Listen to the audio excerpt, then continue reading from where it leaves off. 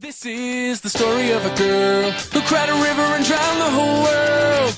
And while she looks so sad in photographs, I absolutely love her when she smiles.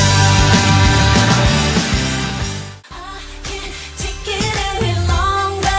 Thought that we were stronger. All we do is leave. Sad in photographs, I absolutely love her when she smiles.